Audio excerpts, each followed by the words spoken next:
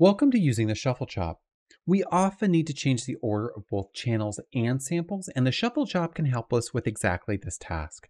Let's take a closer look at how shuffling works. To begin, let's add a pattern chop here into our network, and we'll use the pattern chop as a stand-in for uh, incoming data that we might need to work with. Let's turn the number of samples down to say 20, and let's use the A key and the D key to turn on our dots per sample so we can actually see the samples here inside of our pattern. Now, one typical transformation that we might encounter is we might need to take, say, a uh, single channel with multiple samples and turn that into multiple channels all with a single sample. So let's go ahead and grab a shuffle chop here and we can see how we might do that. Now here in our shuffle chop, we can go ahead and swap the channels and samples. And we've gone ahead and converted what was just one channel with many samples in it to many channels, all of which that have one sample. Now, sometimes we start with data that looks like this and we need to go the other direction. And in fact, we can use the shuffle chop to do exactly that type of transformation where we again swap channels and samples and we go back the other way. Now, sometimes what we need to do is we actually need to take these many channels and we need to order them into a set of channels that makes more sense. So let's say, for example, I wanted just the first half of the sine wave and then the second half of the sine wave. How could I do that? Well, let's go ahead and make a copy of our shuffle chop here. And what we might do instead is we might go ahead and select sequence n channels. Now, what we're going to do here is we want to sequence every 10th channel. So here we can think of 0 through 9 becomes one channel, and then 10 through 19 becomes our second channel. And that's why we end up with two channels here. Now, this can be really helpful in lots of different circumstances. Now, what other ways might we need to think about when we're working with uh, channels here? So let's go ahead and add another pattern to create another similar kind of use case. Now we'll do the same idea. We'll turn down the number of samples here. And this time I'm going to call this TY. Now I'm going to turn on our dots here. I'm going to make a copy of this pattern. This one I'm going to call TX. And let's go ahead and merge these two chops together. Now, we might end up in a scenario here. Actually, let's make sure we change one other piece of our pattern here. Let's change this to say a ramp. Now, in this particular case, I might want to think about how I combine these two channels together. And I have a few options uh, that I might want to explore. So let's add a shuffle chop here to our network. One thing I typically might want to encounter or think about doing is how do I say take these mini channels and turn this into say just a single channel. And in fact, to do that, what we might think about doing is sequencing all of our channels. So if we sequence all channels, we'll see what we end up with here is we've taken all of our channels and connected them one right after another. Now that's an interesting way to think about how we might work with uh, some data that's shaped in this particular format.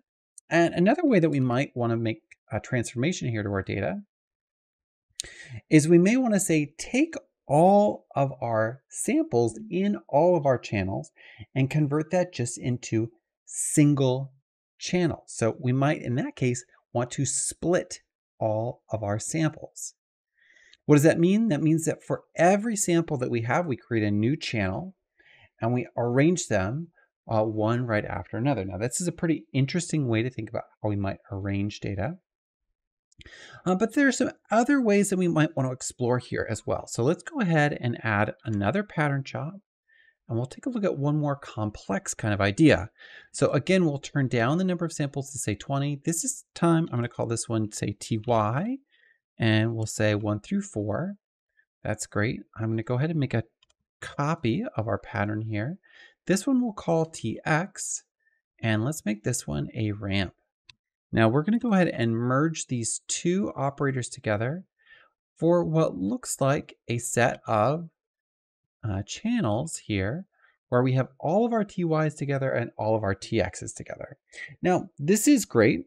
Uh, and in some circumstances, this might be just what we need, but sometimes we actually need to rearrange this uh, in some different ways. So what might that look like? Well, let's add a shuffle chop here to our network to see. Let's say I wanted to take TY and I want to append TX to it. So there, what I might end up uh, needing to do is I want to sequence every nth channel. So I want to sequence every nth channel and I want to do every four. So I want to do TY and then four channels later, one, two, three, four, here TX. I want to grab this channel and I want to append TY and TX.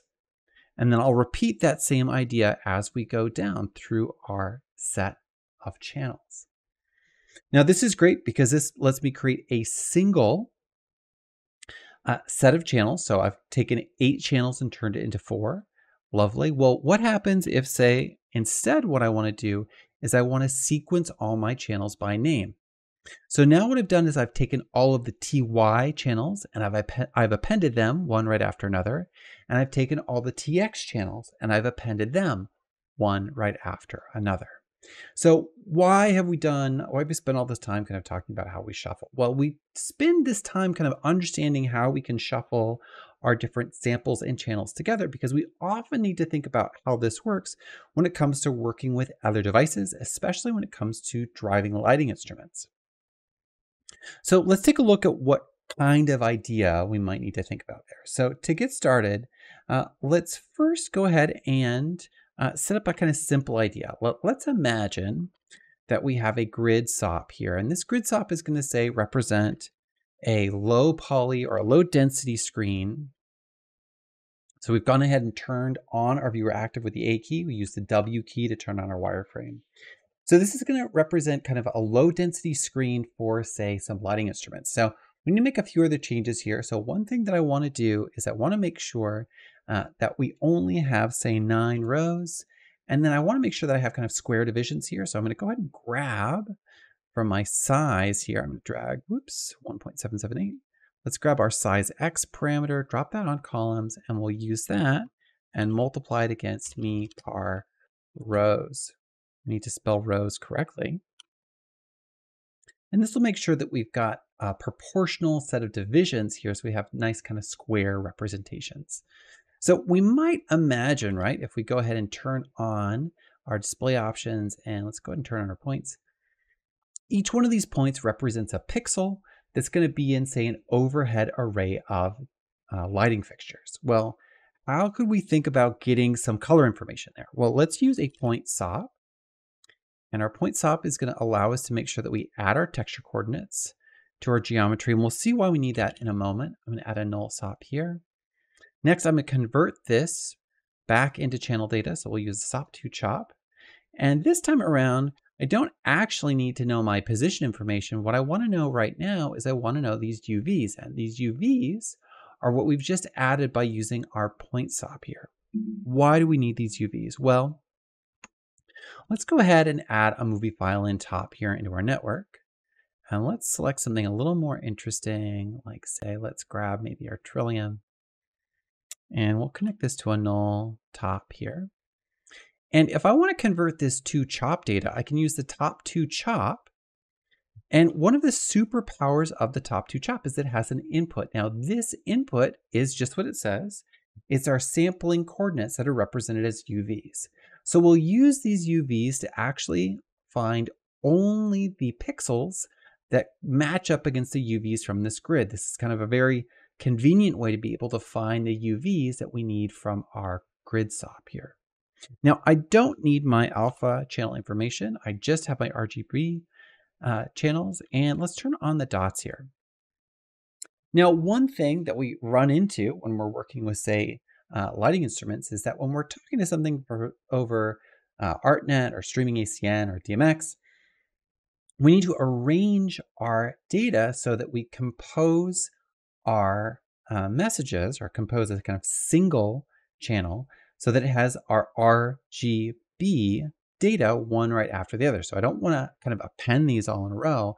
I need to make sure that I have uh, stacked together the red, green, blue value followed by the next red, green, blue value uh, followed by the next and so on.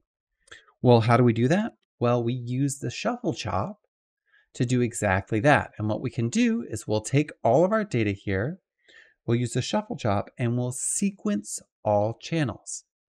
And if we sequence all channels here, what we'll end up with is we will end up with, say, one channel.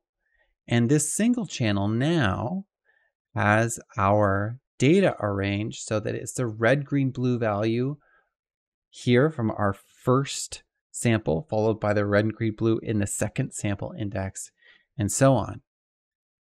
This now is ready to head out uh, with the DMX out chop. And this is one of the reasons shuffling is, is important, is because it allows us to think about how we rearranged both channels and samples into formats that we can use for other types of devices.